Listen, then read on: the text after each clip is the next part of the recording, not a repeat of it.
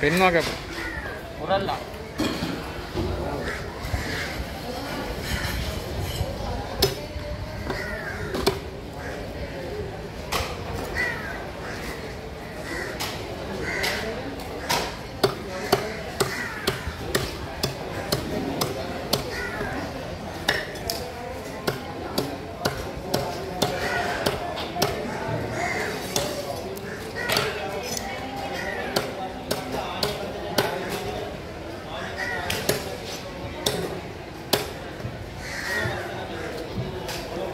Don't